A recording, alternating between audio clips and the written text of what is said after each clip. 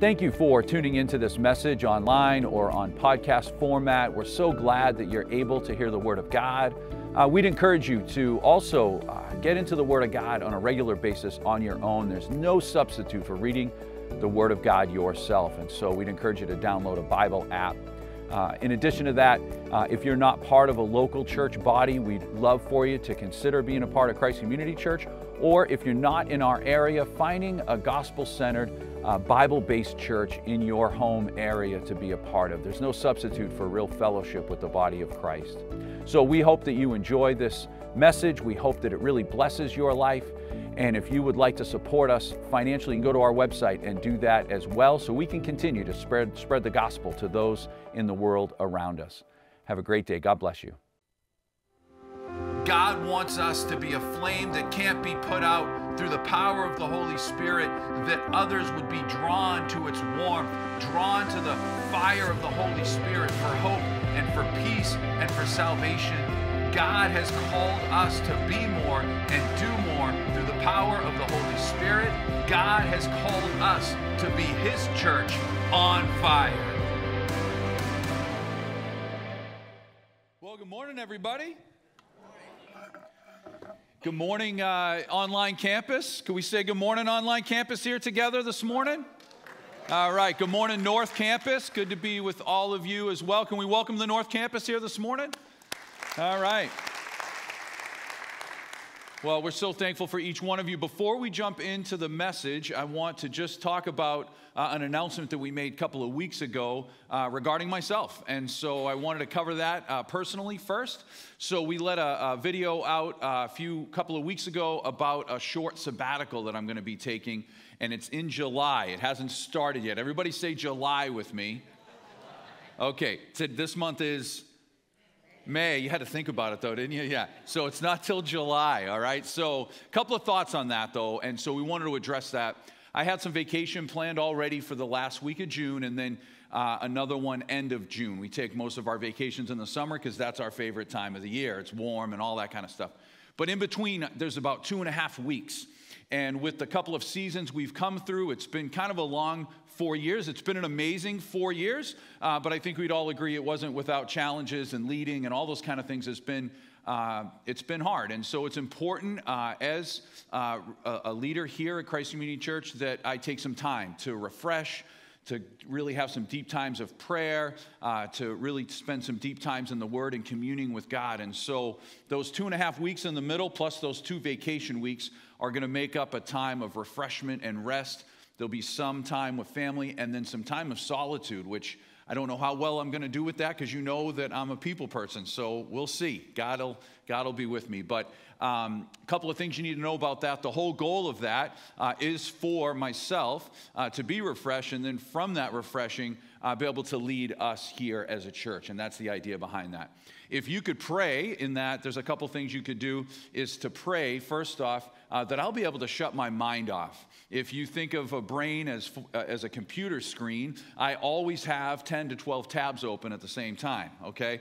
Maybe more than that. Uh, but I'm just prayerful that God would give me a time to be able to really slow my mind down and really listen and sit with Him uh, in silence. And so it sounds like a simple prayer. Uh, it is, uh, but I know it's going to have a profound in, uh, impact. So I would ask you to do that. I'd also ask you to continue to come on the weekend and, and, and be a part of services in person or online. Uh, enjoy your midweek ministry. Please continue to give the way you have been, faithfully and cheerfully and sacrificially. Uh, the ministry moves forward, and, and so we wouldn't have a ministry if it wasn't uh, without all of you. And so that part's important. Let's continue doing what we're doing, and God will continue to do what He's doing in this area. And He's doing some amazing things. Would you guys agree? You didn't convince me. Would you guys agree that he's doing some amazing things? The other part of this is, is that we're in a time that I'm very grateful that we have a staff team and a church volunteer and volunteer leadership team that allows me to actually go away and take this time. And I don't ever want to take that for granted. I don't want to take any of you for granted or our staff for granted. We have a, a, preaching team that a lot of churches just don't have the luxury of having, and we have a great preaching team. I mean, they've been doing a great job. Tom and Conrad and Bailey. And so we're able I'm able to take some time off with confidence. I'm not really concerned at all with the ministry moving forward here uh, with all of them, and then an excellent elder team to oversee all of that. We're really just blessed by that. So that's sabbatical. Everybody say July with me. If you know some folks who aren't here that thought it already started, please tell them the truth. You can give them all those details, okay? And so, uh, the last thing I think it's important to say for those who've been around a little while I am not looking for a job while I'm on sabbatical. I love it here. I don't, if I was going to work someplace else, it wouldn't be another church, okay? I want to work here. I love this church. I love this community. I love this is the church I'm called to. I'm not going anywhere, and the elders are not looking for another pastor either. So we're good. It's just a time to be equipped for the next season. But um, you know us, we like to state the obvious, and I'm just going to put it out there. Uh, I'm not looking for a job, and they're not looking for a new lead pastor. You guys all clear on that one online, hopefully in North as well? Yeah, praise God. So let's pray and then we'll jump into our message here this morning. Dear Heavenly Father, God, we thank you for this time. Uh, first off, God, we thank you that you give us times of rest. And uh, Lord, may we never take those times of rest for granted. Lord, um, I'm grateful that, that we're able to uh, have a space where, where I can get uh, a little time away to, to dive deeper into the, my relationship with you, to, to be filled up. So, God, that we could uh, just continue, uh, Lord, to, to move forward as a, as a ministry, as you equip me and as I equip others, all through the power of the Holy Spirit and all in the name and the authority of Christ Jesus, God, as you are our chief shepherd. We just thank you for that. I thank you for this amazing church and just a, such a great body of people who are ready, willing, and able to do uh, what you're calling them to do uh, when, when they're called to do it. And I just, I'm so thankful for that, God. Thankful, God, for our staff team, uh, all of our, our pastors and, and directors and staff members, all of our uh, ministry leaders and volunteer staff members and our elders, God. Uh, we're just blessed. And God, may we not take for granted the time, the chapter of Christ Community Church that we're in and also the work that you're doing in people's lives, in our own community, in our own congregation, and outward in our city and in the surrounding towns, God. You're doing a work uh, and a work that we're probably not even aware of at some level, God. So we thank you for that. God, as we pray now over this message, as we consider being people on fire for you, as we consider being a church on fire for you, God, uh, we just ask, Holy Spirit, that you would do a work in our hearts right here, right now, today. God, in this passage today, we're going to take a pretty long look at, at, the fact that the people who heard this message originally to the early church and now to this church today, uh, they were cut to the heart. And so, God, I pray, Holy Spirit, that you would cut us to the heart here today, and not in a bad way, but in a good way, that you would show us the way that we should go, that you should, that you would uh, encourage us to continue on in the way we are going, and, and reveal to us maybe some things in our lives that are holding us back from you working fully and wholly, God. And so I pray now that these words would be your words and not mine. We do believe that your, your word, the Bible, is fully inspired by the Holy Spirit, that it's written without error, and we hold it as the authority in our life above all other authorities. And so we open up our hearts and surrender ourselves to that authority now during this time. In Jesus' name we pray. Amen. All right, so I got a question for you. Have you ever done something in life and then a little while after really regretted it? Anybody? Like you're like, oh, I made this decision. Like, you know, maybe you're out like in a rural area and your gas tank, the light's on, and you just kind of keep driving and you pass the last gas station for like 100 miles, and then you realize you're going to be walking 20 because you ran out. Maybe it's more immediate like that. Maybe that little picture of a motor has been on the dash of your car for a while, and about a year goes by and you finally get it looked at, and your mechanic tells you that if you got it fixed the, when it first came on, it would have been $100, and now it's $1,000, and you're like, oh, I regret it. You know, we've got those moments in our life. Or maybe your friend thinks he's like the next uh, master chef and decided to make you some chicken tartare, so you gave it a go.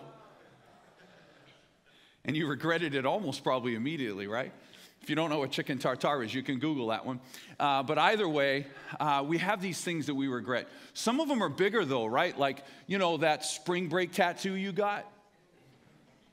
They kind of last with you for life, maybe? No? Anyways, there's probably some folks in the room, right? We got some tattoos around that we wish maybe we did a little different. But either way, sometimes they're even bigger. Like, we should have taken that job that we got offered Or maybe we should have left that job sooner. Or maybe it was a financial decision, like you wish you bought some Bitcoin or some Tesla five or six years ago. Know what I'm saying? So we have all these kind of things in our life. They're really external that we go through and we think, oh man, if I had only made that decision then, I would have had I would have been in a better place today. Well, you got to know that, that life seems to be kind of a series of, of, of bad decisions, and some are really big, some are small, some have immediate consequences, and some of them have long term consequences. In our passage today, we're going to see a group of people who made a decision based on what they believed to be 100% true, and then they found out that it wasn't, and they came to this place to regret what they've done, and they, they literally almost say in the passage, What have we done?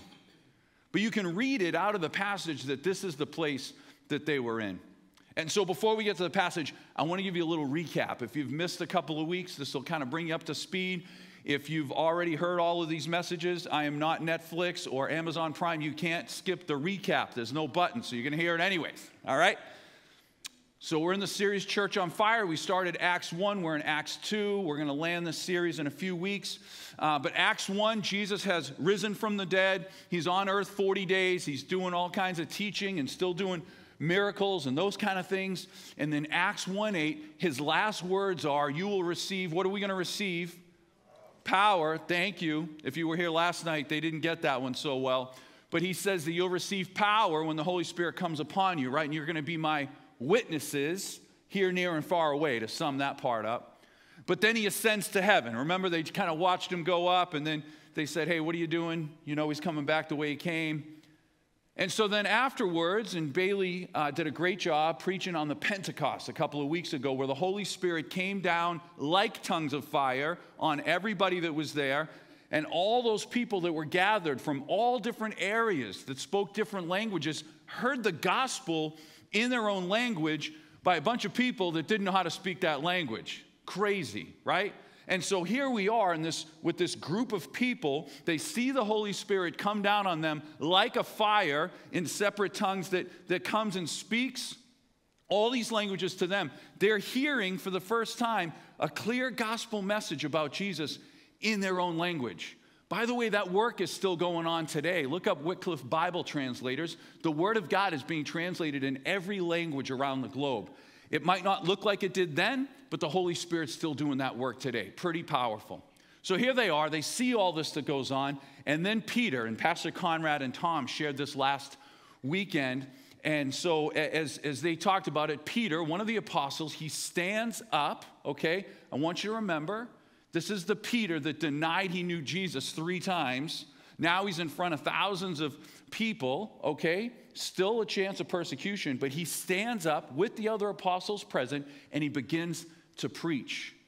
Just like I'm preaching now, obviously a lot different, but just stands up above and with everyone seated and begins to kind of be a herald for the gospel. He starts to preach. And so last week, he begins to point them back to the book of Joel and he talks to them about what they already knew Something we probably miss when we read scripture, when they're speaking to a Jewish audience, when we read the word of God, and they're, they're devout Jews in that time, they would have known all of those scriptures, the, the, the scriptures that we call uh, the Old Testament or their Torah, they would have known them by heart almost. Unlike us, where we got to like, you know, go look it up or Google the Bible verse or whatever, because we don't have that type of learning model in our culture. They would have sat with a rabbi, and actually, there was no, no printed Bibles like we have or, or books like we have now. They would have memorized large portions of Scripture.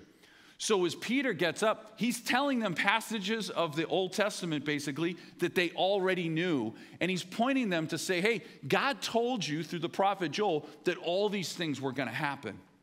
And now, today, the sermon continues from Peter. And so everyone is gathered. This, this is the continuation of the sermon that Pastor Tom and Pastor Conrad shared last week.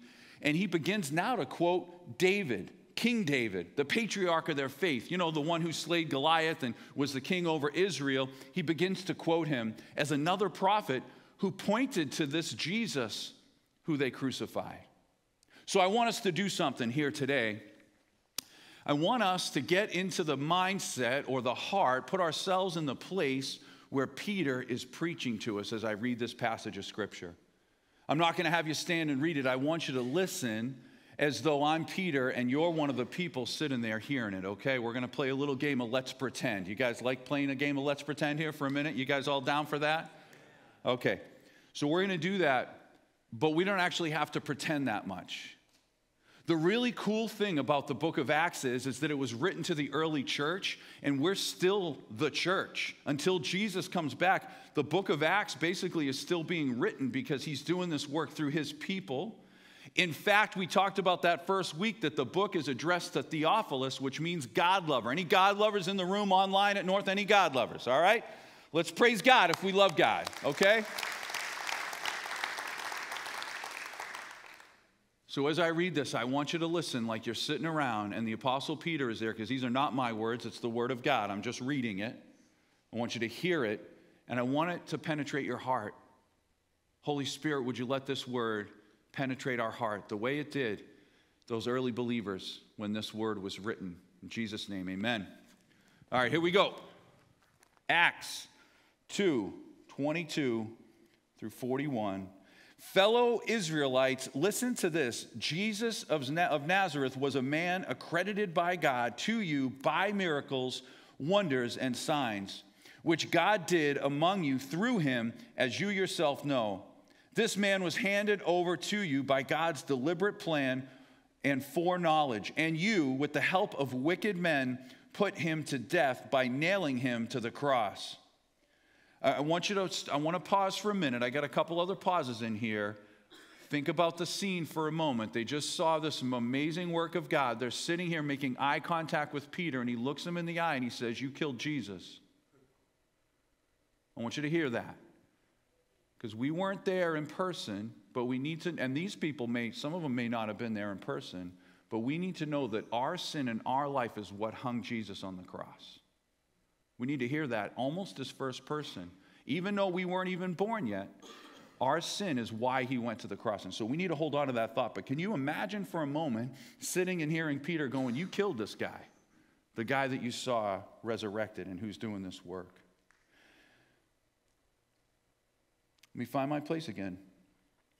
This man who was handed over to you by God's deliberate plan and foreknowledge and you, with the help of wicked men, put him to death by nailing him to the cross. But God, God raised him from the dead, freeing him from the agony of death because it was impossible for death to keep his hold on, keep its hold on him. I'm going to read that verse again, and I want us to listen to it for a moment because that's the hope that we have in Christ Jesus. Is this one line right here but God raised him from the dead, freeing him from the agony of death because it was impossible, someone say impossible, for death to keep its hold on him.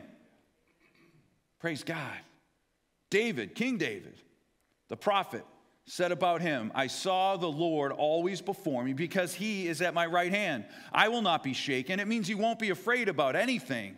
Therefore, my heart is glad and my tongue rejoices. My body also will rest in hope, because you will not abandon me to the realm of the dead. You will not let your Holy One see decay.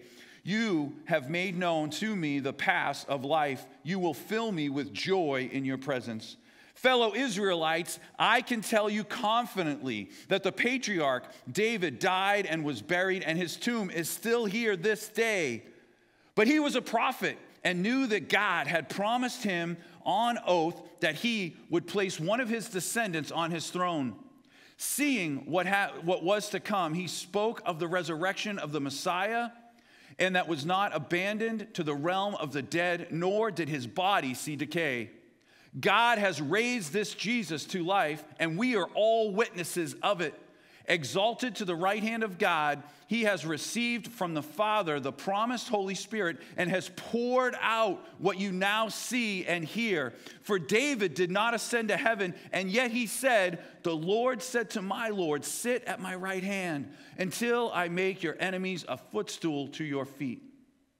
Therefore, let all Israel be assured of this God has made this Jesus, whom you crucified, both Lord and Messiah. When the people heard this, they were cut to the heart and said to Peter and the other apostles, Brothers, what shall we do?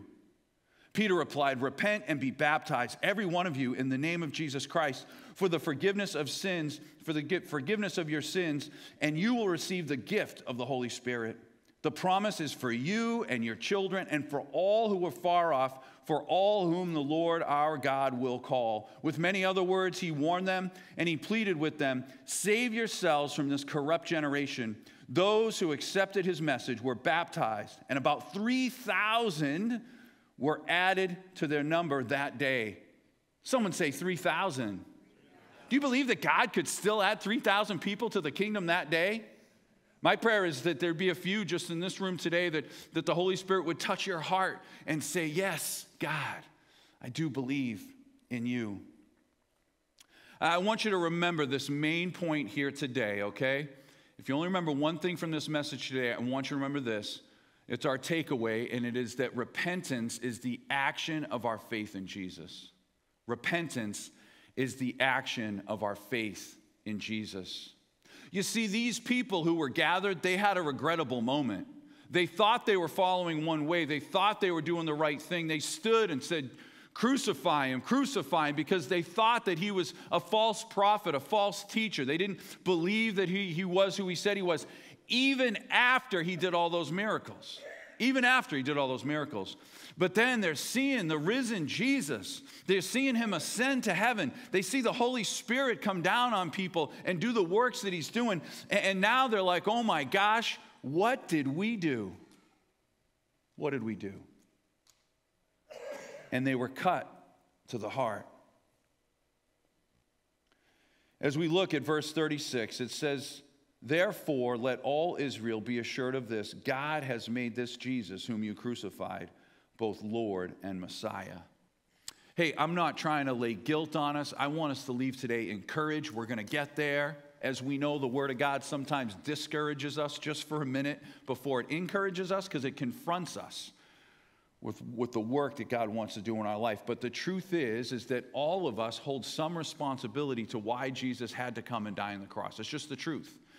But the good news is he did that because he loves you so much and he wants to pull you up out of that sin, pull you up out of that place that has a death sentence attached to it, and put you in a place with him for eternity. That's what he wants for you.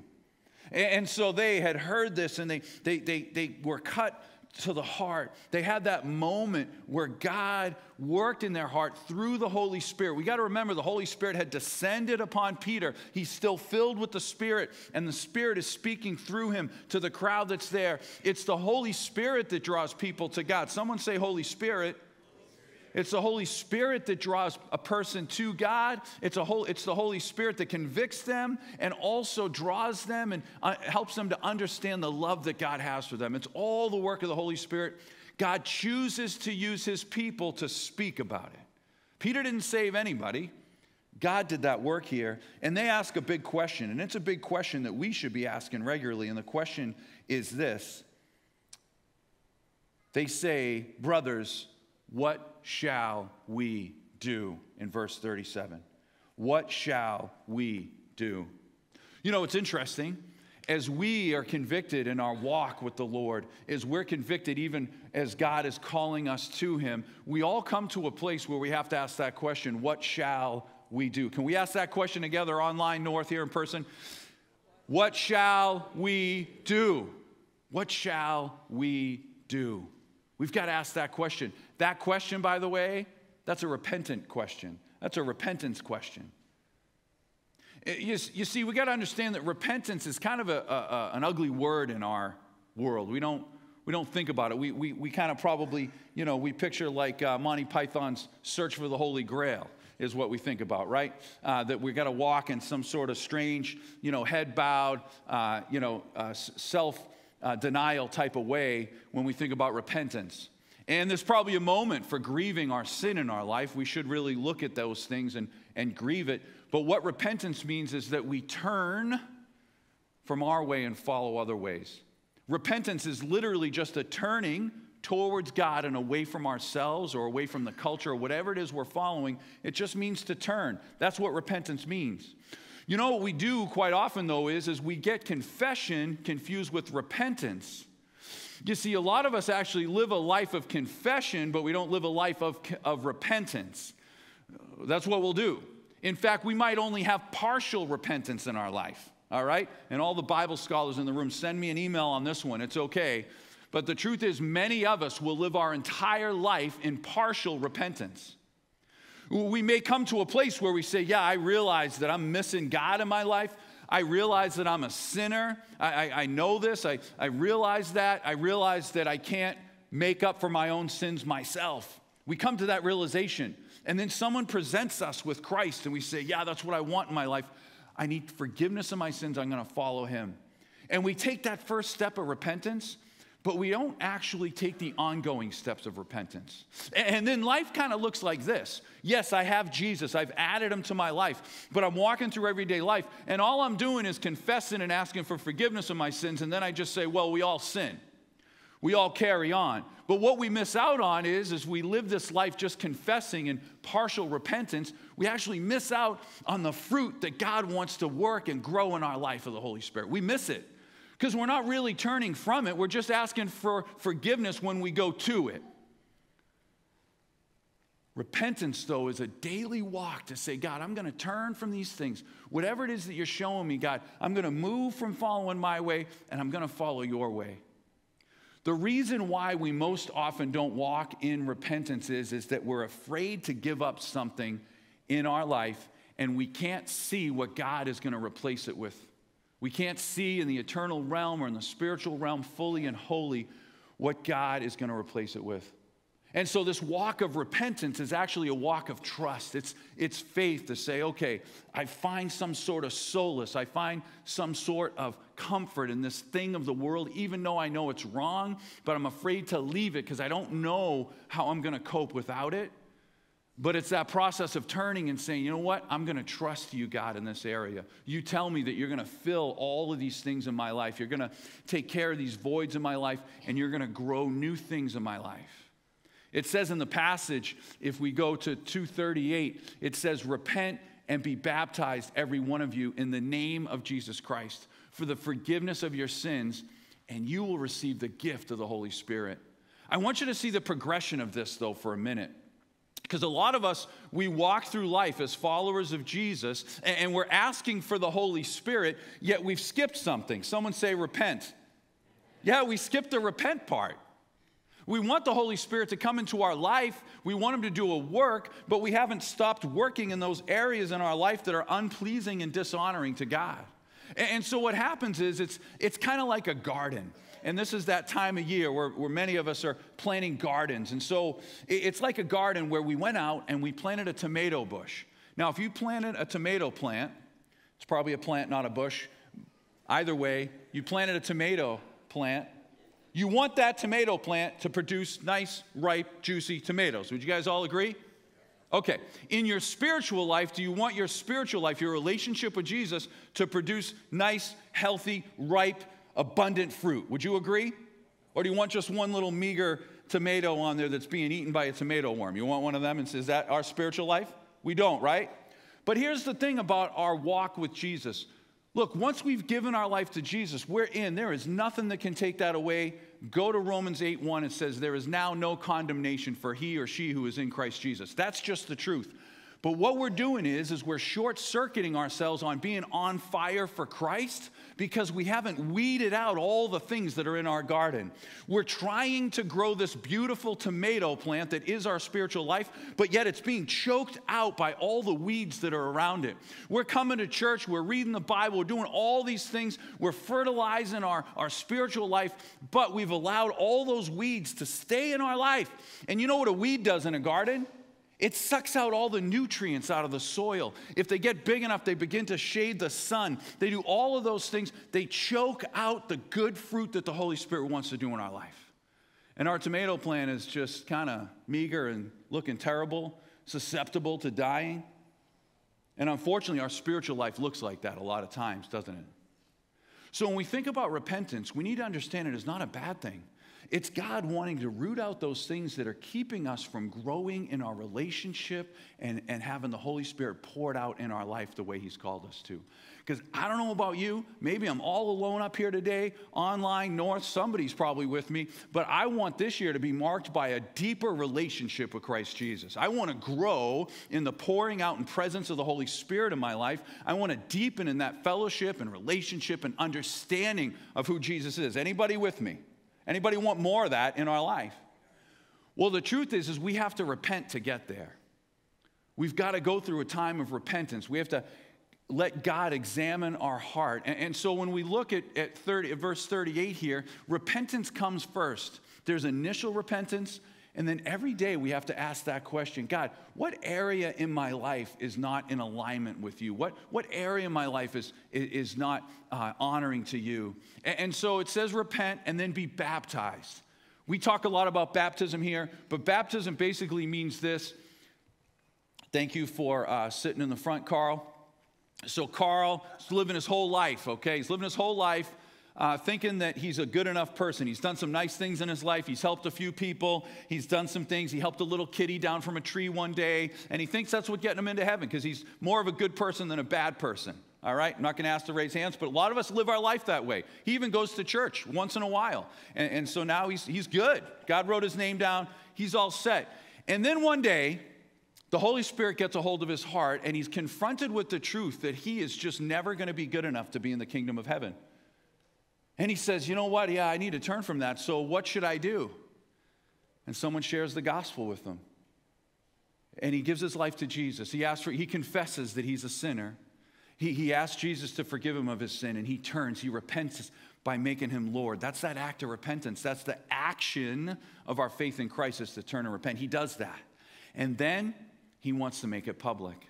You see, baptism helps us to make it public. It's saying, hey, I gave up all these ways that I was following in my life, and I am going to loud and proud tell the world. It's almost like spiritual accountability to say, I am no longer the old Carl, okay? And so I am no longer the old Carl. I'm a new Carl, and I'm going to be baptized to show the whole world uh, that this is who I am in Christ Jesus. And then it says, and we go back to verse 38, Rhonda, there for a minute back to verse 38. And then it says, in the name of Jesus Christ. You got to know when the word of God says the name of Jesus Christ, we're talking about the authority of Jesus. Someone say authority.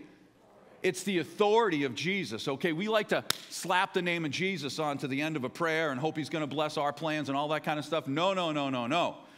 If you're taking notes, write down Philippians 2 because it says that the name of Jesus, every knee will bow and every tongue will confess that Jesus Christ is Lord uh, in heaven and on earth and under the earth. That means those who have gone on ahead of us, that He is the King of kings and Lord of lords, a bright morning star, that His name is authoritative above all things. That's what it means in the name of Jesus. That's what it looks like to walk in a place of repentance to say, I'm going to submit my heart, my life to your authority that means that I have to give up some of the ways I believe, some of the ways I think, the things that I want to be right on, some of the behaviors that are in my life.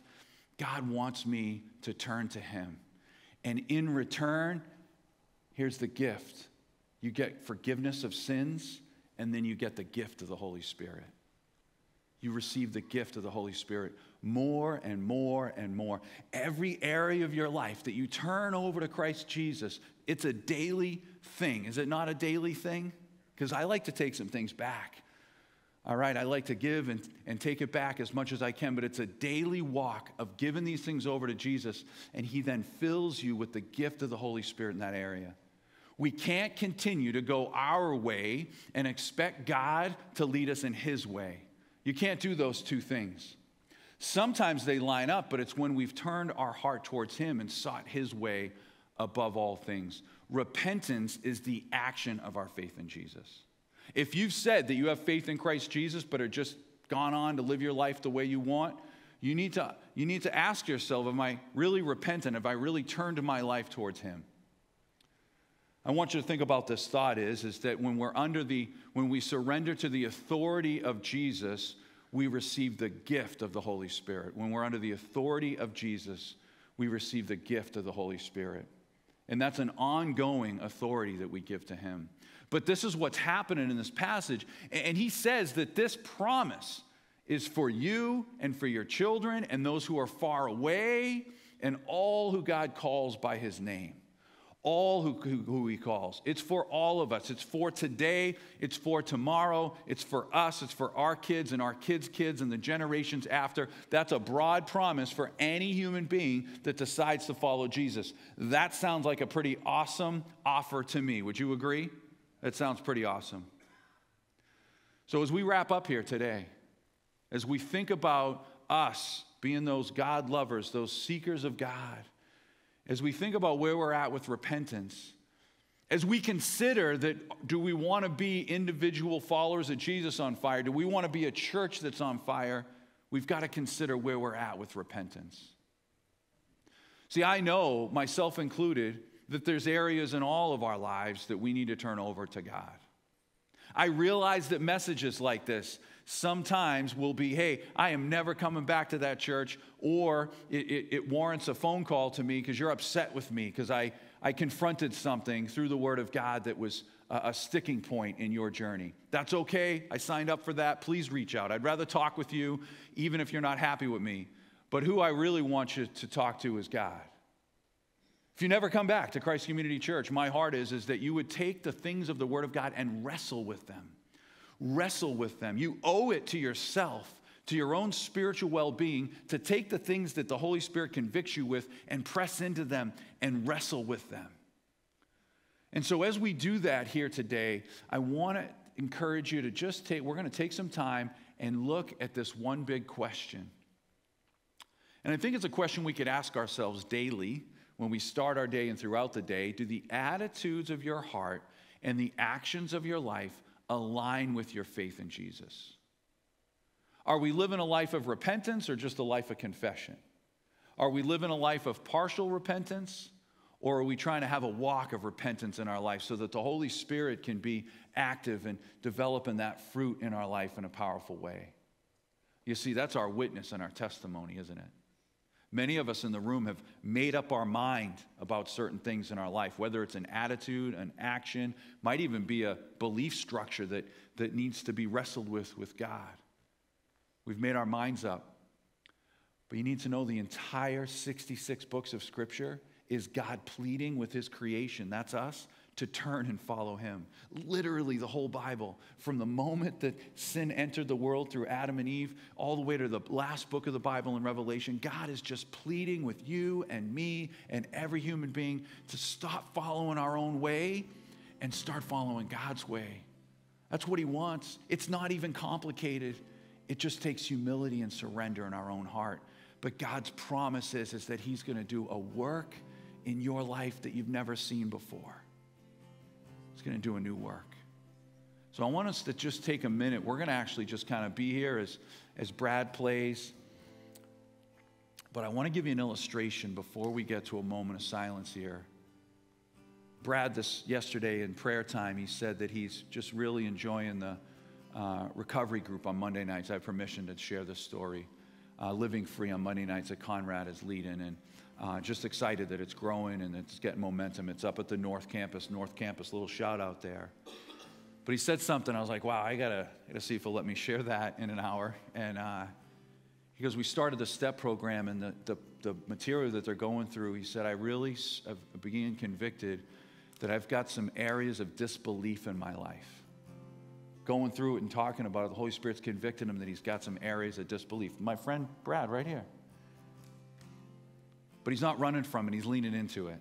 He hasn't got it all figured out. But to be open to say, hey, you know what, God, help me in my disbelief.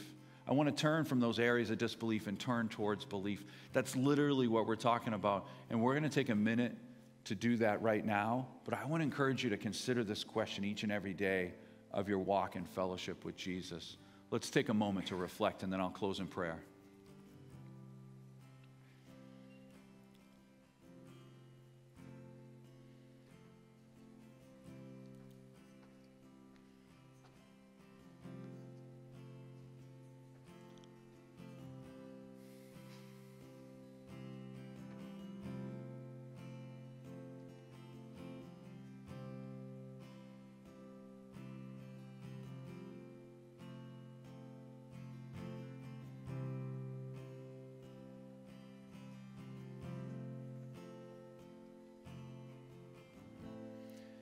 Dear Jesus, we first off want to come to you with gratitude in our hearts for what you've done, who you are, how much you love us. We acknowledge, God, that we're partially responsible for hanging you on that cross because of our sin. And Lord, that you took our pain and our punishment because of your great love for us. And we want to say thank you. May we never take that for granted. And God, on behalf of myself and everyone listening to this message right now, we repent, we turn from our ways, we confess that we have often followed our own ways or made our mind up and not been open to you changing it. Holy Spirit, show us those things in our life, the things that we need to surrender to you, the things that aren't honoring to you, the things that are in attitude or in action that you want us to turn and follow you in. God, show us, Holy Spirit, what those are.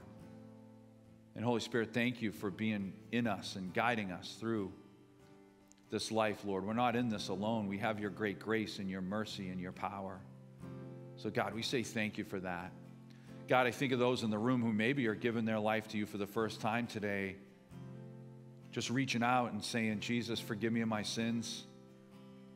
I want to turn and follow you, make you the Lord of my life. If that's you doing that today, you need to know that there's nothing now that can separate you from the love of God that is in Christ Jesus. That there's no more condemnation. That today, even if you've been convicted uh, for the first time or an ongoing time here today, you need to leave with your head held high here because of God's great grace and mercy. Thank you, God, for that. God, we are just moved by the work that you want to do in us and through us. Holy Spirit, we just ask for you to continue to fan that flame that's in our heart and in this church. In Jesus' name we pray. Amen. All right, well, we're going to conclude the service. I want to hand it over to Pastor Tom at the North Campus. He'll He'll close out the service up there, and we appreciate you guys being online with us. If you're listening to this as a post watch, we thank you for joining as well. And, church, leave today encouraged. We love you so much. God bless. Hi, everyone. Thank you for joining us today. We hope that you've been blessed by the service. If you don't have a church home, we would love for you to consider being a part of Christ Community Church.